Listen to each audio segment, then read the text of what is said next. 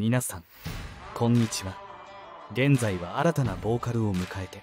再始動をした WANDS。そのかつてのボーカルを務め高い歌唱力と整った容姿で人気を集めていた中 WANDSを突然引退した上杉昇さん。今回は上杉昇さんがどうして WANDS から脱退したのか現在何をしているのかについて紹介します。それでは上杉昇さんが歩んだ軌跡を全てここからご紹介していきましょう。ではまず上杉翔さんのプロフィールからご紹介したいと思います。名前上杉翔生年月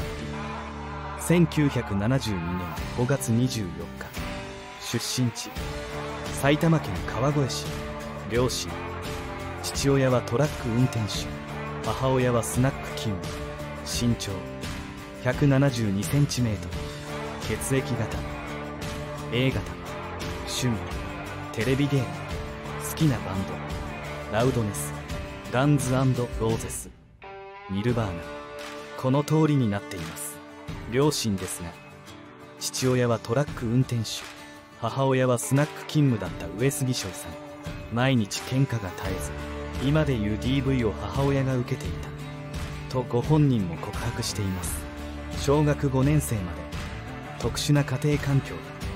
幼少期を過ごしたのは意外な事実です。父親はお祭りのお囃子で横笛を吹く演者さんでもあり音楽の才能を持った人でした。天才上杉翔さんも父親の方が才能はあったと言っているくらいですから相当血の気が荒く毎日腕立て300回やるほど腕っぷしが強く血の気の荒い人だったそう。母親は歌手になることが夢だったそうだ。歌を歌うことが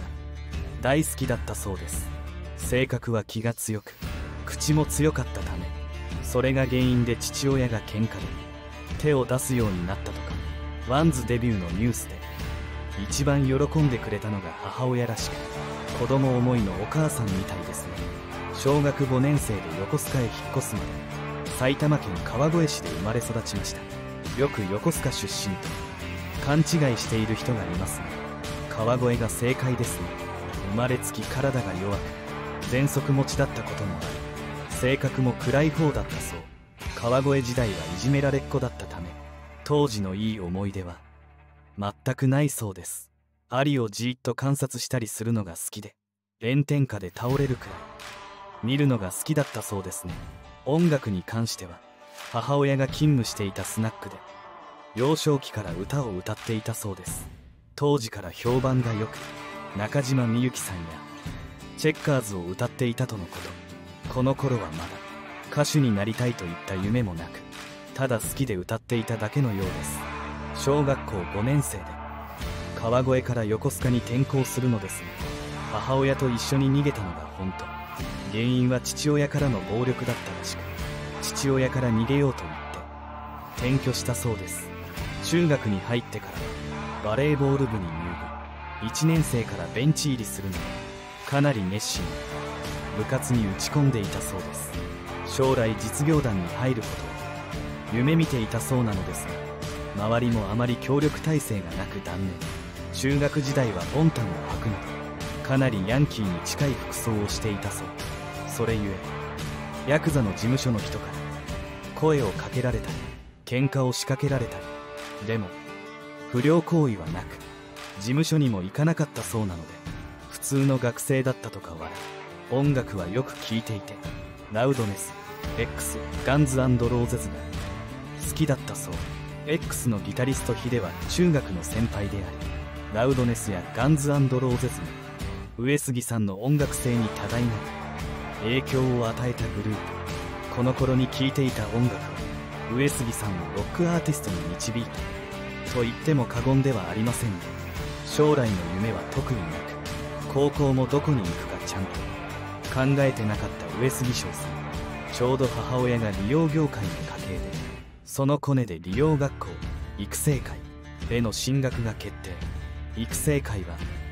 おじさんおばさんまで幅広い人が入学してくる理容学校だったそう。そんな中上杉翔さんは育成会の同級生から誘われバンドを結成することになります。ボーカルとしてついに活動スタート。となった矢先先輩と喧嘩して定額処分に復学のための課題を出された。上杉翔さんですがレポートの量の多さに絶望。そのまま退学となり結成されたバンドそのまま自然消滅で解散。となったそうです。フリーター時代育成会を退学した後アルバイトをやりながらバンド活動をしていた上杉さんどんな生活をしていたのかを解説していこうと思います。そしてやっとバンド活動を始めます。育成会で結成したバンドを解散した後そのバンドのコネで新しいバンドに加入。その名もエクスプロードで町田や横浜のライブハウスで活動していました。イギリスの人気バンド。ハノイロックスのコピーを主にやっていたそうです。当時コピーバンドにもかかわらず出待ちファンが大勢できるほど人気爆発。またそのほとんどが上杉さんファンだったらしくすでに大気の片鱗を見せていたそう。他のバンドメンバーは嫉妬していたそうですが人気絶大だったんですね。ただこのバンドもメンバーの就職や諸事情で1年で解散となったそうです。学校も辞めてバンドも解散となったことで一人きりになったのがこの時期でした。退学した上杉翔さん。はバンド活動をしながらガソリンスタンドのアルバイトをスタート。なぜガソスタなのかというとロン毛でも許されるからだったそうです。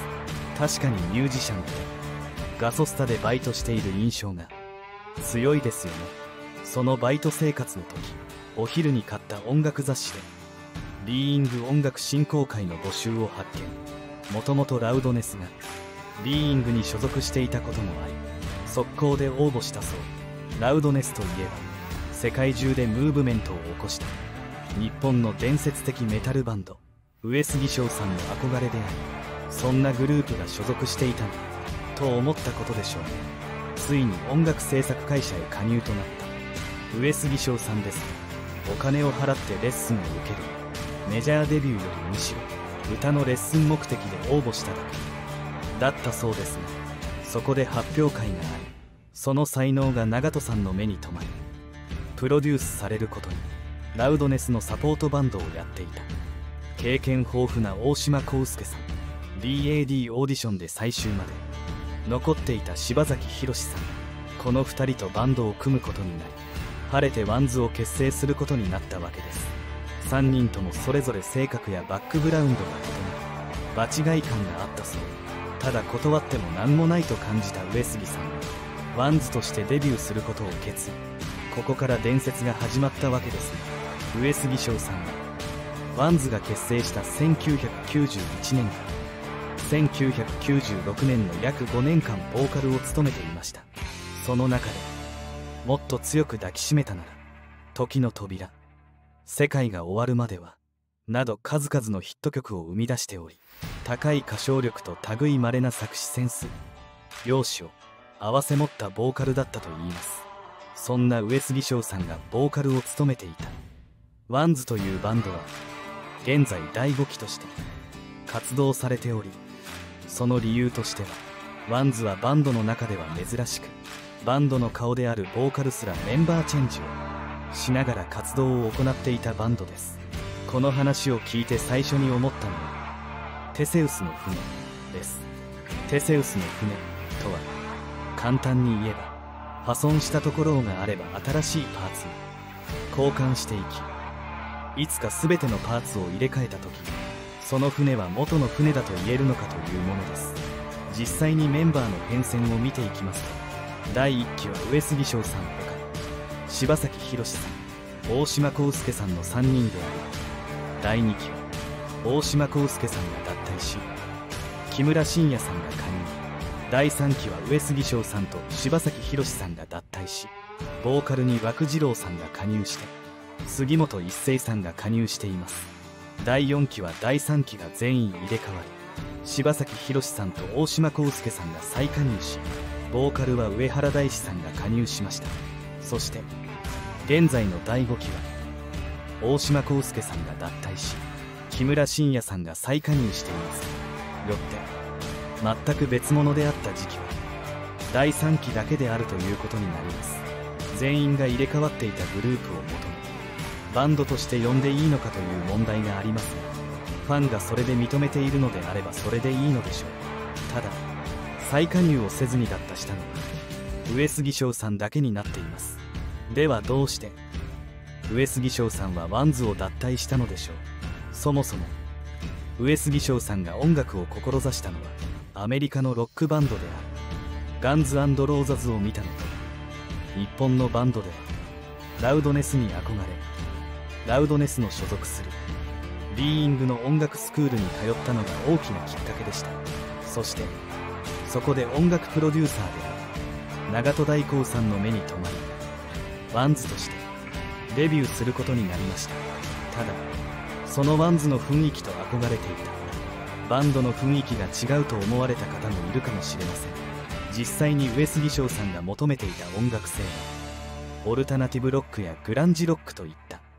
ポピュラー音楽や産業ロックとは一線を画した路線で代表例で言えば椎名林檎さんのギブスや BUMP OF CHICKENの GO、キューソネコカミの越えていけなどがあります。そうした路線を目指していた上杉昇さんですが WANDS を脱退した後インタビューに答えておりその際に WANDSの活動について WANDSはやらされている感がすごくあった。 WANDSの音楽性は自分の求めていたものと全く違った。合わなかった。と話しています。そして WANDSにいた頃について WANDSでの自分は演じさせられていた。アイドルだった。と話していました。 WANDS時代にもバンダナを巻いていたのはどうやら Guns N' Roses のような要素を少しでも残しておいて自分らしさを訴えていきたかったのだと思われます。そのまま活動は続いていきその中で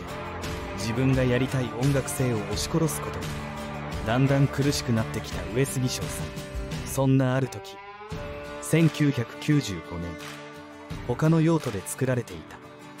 シークレット・ナイト・イッツ・マイ・トリート」を偶然聞き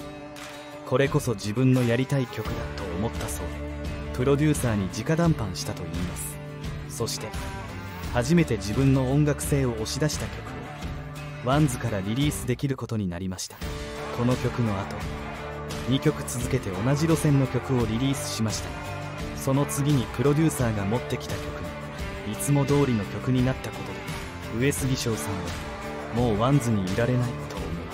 そこに1994年に起きた Nirvana の伝説のギタリストであるカート・コバーンさんの死がありそれを受けて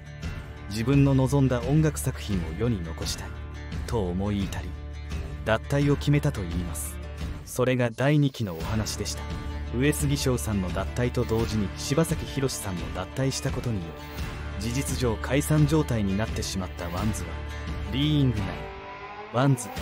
の名前を登録していたことに木村真也さんと他2人を迎えて第3期 WANDSとして活動を再開しています。この第3期のメンバーは先ほども話した通り初期のメンバーは誰もおらず WANDSなのか疑問符が頭に浮かぶ状態の人もいたでしょう。テセウスの船やテセウスのパラドックスとも言われ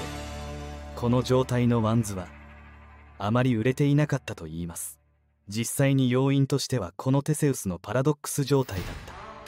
こともあるとは思いますがそれ以上に WANDSの再開が遅かったことやその当時に GLAY などが台頭してきていたこともあるというさまざまな要因があったことが売れなかった理由なのではと考えられています。 WANDSを脱退した後の上杉昇さんについては1997年11月に al.ni.co という新しいバンドを結成しています。ただこのバンドは2001年に解散しています。その後上杉翔さん自身が新たなレーベルポジョレコルを設立しておりソロでの活動をしています。これまで行っていた作詞に加えてほぼ全曲の作曲を行うようになり本格的に自分の音楽性を前面に打ち出していくようになりました。そして現在バンドである猫騙を結成してインディアンコスプレをしながらライブなど。しているようです。このバンドは2006年に結成しておりそれ以降精力的に活動を続けています。このバンドにおける上杉昇さんの評価は WANDSの伸びのある曲調の方が上杉昇さんの天から与えられた歌声を活かせるのでは WANDSの時の声の方が好き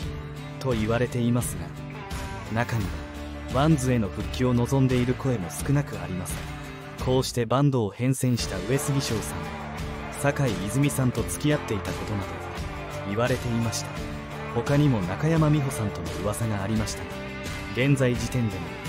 特段結婚の話はありませんでした。いかがでしたか？今回は上杉昇さんについてWANDSを脱退した理由